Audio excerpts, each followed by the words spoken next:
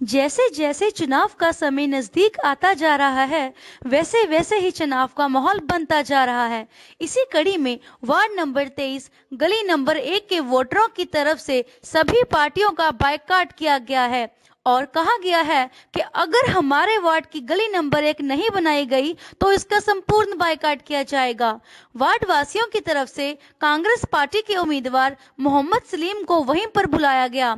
उनकी तरफ से लोगों को आश्वासन दिया गया कि गली नंबर एक जिसकी बात लोग कर रहे थे उनको बनाने के लिए उनको 10 दिन का समय चाहिए और लोगों ने कहा कि जब भी काम शुरू हो जाएगा तब हम बाइकाट का बैनर उतार देंगे सभी वार्ड वासी हमारे साथ हैं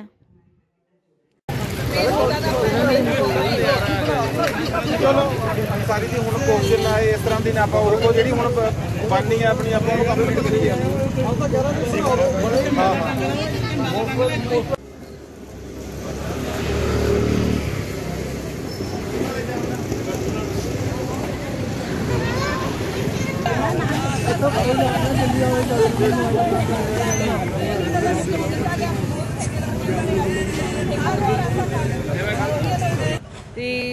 ਇਹ ਬਾਈਕਾਟ ਇਸ ਕਰਕੇ ਆ ਜੀ ਕਿਉਂਕਿ ਇਹ ਮੇਨ ਗਲੀ ਆ ਜੀ, ਸਾਡੀ ਇੱਕ ਨੰਬਰ ਗਲੀ, ਮੋਤੀ ਬਾਗ ਦੀ, ਜੋ ਕਿ ਹਰ ਇੱਕ ਬੰਦੇ ਦਾ ਰਸਤਾ ਇੱਥੋਂ ਦੀ ਹੈ ਜੀ। ਬਹੁਤ ਟਾਈਮ ਹੋ ਗਿਆ ਇਸ ਗਲੀ ਨੂੰ ਬਣਦੇ ਆ ਬਣਦੇ ਆ ਬਣਦੇ ਆ ਮਤਲਬ ਕਿੰਨੇ ਸਾਲ ਹੋ ਚੱਲੇ ਨੇਗੇ? 10 ਸਾਲ ਮੰਗੂ ਹੋ ਚੱਲੇ ਨੇ। ਅੱਗੇ ਸਕੂਲ ਪੈਂਦਾ ਜੀ। ਬੱਚੇ ਜਾਂਦੇ ਨੇ, ਬੱਚਿਆਂ ਦਾ ਬਹੁਤ ਬੁਰਾ ਹਾਲ ਹੁੰਦਾ ਜੀ। ਸਾਰੇ ਹੀ ਇੱਥੋਂ ਦੀ ਲੰਘਦੇ ਆ।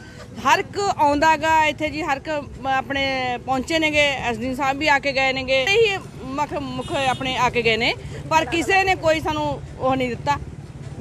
ਕੰਮ ਦਾ ਸਾਡਾ ਸ਼ੁਰੂ ਨਹੀਂ ਹੋਇਆ। ਸਾਡਾ ਸਾਥ ਨਹੀਂ ਦਿੱਤਾ, ਕੰਮ ਨਹੀਂ ਹੋਇਆ। ਤੇ ਕਹਿੰਦੇ ਰਹੇ ਨੇ ਵੀ, ਹਾਂਜੀ ਆ 10 ਦਿਨਾਂ ਨੂੰ, ਮਹੀਨੇ ਨੂੰ ਕੰਮ ਤੁਹਾਡਾ ਸ਼ੁਰੂ ਹੋ ਜਾਊਗਾ। ਇਹ ਸਾਡਾ ਨਾ ਇੱਥੇ ਤਕਰੀਬਨ 20 ਸਾਲ ਤੋਂ ਅਸੀਂ ਜਨਮ ਦੇ ਜਿਹੜੇ ਵਿੱਚ ਰਹਿ ਰਹੇ ਹਾਂ, ਨਾ ਤਾਂ ਸਾਡੀ ਗਲੀ ਬਣੀ ਹੈ, ਨਾ ਇੱਥੇ ਪਾਣੀ ਦਾ ਨਿਕਾਸ ਹੋ ਰਿਹਾ ਹੈ।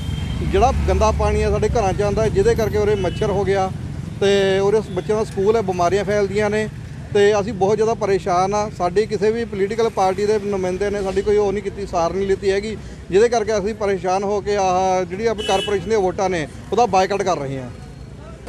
ਦੇਖੋ, ਸਾਡੇ ਸਾਰੇ ਹੀ ਸਤਿਕਾਰਯੋਗ ਵਾਰਡ ਵਾਸੀ ਖੜੇ ਨੇ।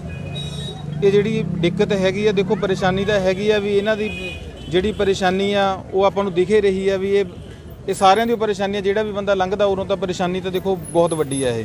ਪਰ ਇਸ ਦਾ ਅਸੀਂ ਹੱਲ ਕਰਿਆ ਵੀ ਅਸੀਂ ਪ੍ਰਧਾਨ ਜੀ ਨਾਲ ਜਾਂ ਈਓ ਸਾਹਿਬ ਨਾਲ ਗੱਲ ਕਰੀ ਆ, ਜਾਂ ਮੰਤਰੀ ਸਾਹਿਬ ਨੇ ਪਹਿਲਾਂ ਹੀ ਕਿਹਾ ਸੀਗਾ ਵੀ ਜਿਹੜੀਆਂ ਜਿਹੜੇ ਗਲੀਆਂ ਦੇ ਟੋਟੇ ਰਹਿੰਦੇ ਨੇ, ਉਹਨਾਂ ਨੂੰ ਜਲਦੀ ਪੂਰਾ ਕਰਿਆ ਜਾਵੇ।